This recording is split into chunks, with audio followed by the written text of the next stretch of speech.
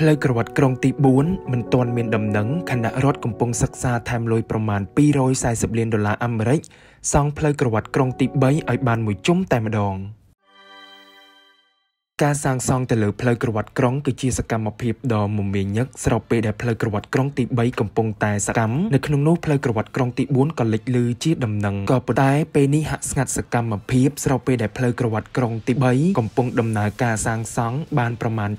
7-90%ហើយក្រុងនឹងបញ្ចប់នៅខែឧសភាឆ្នាំ2023នេះហើយអ្វីដែលជាចំណុចគួរឲ្យកត់សម្គាល់តាក់ទងជាមួយនឹងផ្លូវក្រវ៉ាត់ក្រុងទី3នេះដែលក្រុងនឹងបញ្ចប់នៅខែឧសភាខាងមុខគឺមិនទាន់ជាក្រវ៉ាត់ក្រុងដែលព័ទ្ធជារង្វង់នៅឡើយ ដោយផ្លូវក្រវ៉ាត់ក្រុងទី3នៅក្នុងដំណាក់កាលនេះគឺមានប្រវែងជាង50គីឡូម៉ែត្រនិងត្រឹមតែភ្ជាប់ពីផ្លូវជាតិលេខ4ដល់ផ្លូវជាតិលេខ1ប៉ុណ្ណោះហើយដំណាក់កាលនេះផងដែរគឺចំណាយថវិកានៅក្នុងការសាងសង់គឺប្រមាណចំនួន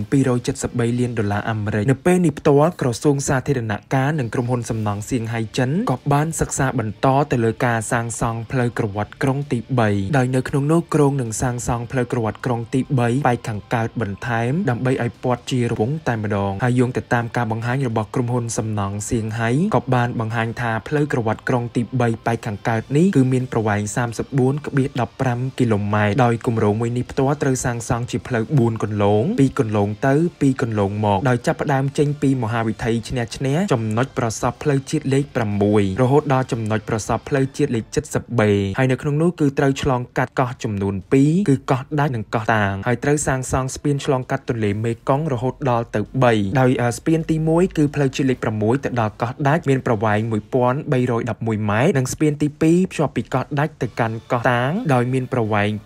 579ម៉ែត្រនិងស្ពានទី3ពីកោះតាងទៅកាន់ផ្លូវ 70B ដោយមានប្រវែង1044ម៉ែត្រហើយការសាងសង់ផ្លូវក្រវ៉ាត់ក្រុងទី3បែកខាងកើតដែលមានស្ពានចំនួន3នេះគឺក្រុងនឹងចំណាយថវិកាប្រមាណរហូតដល់ទៅ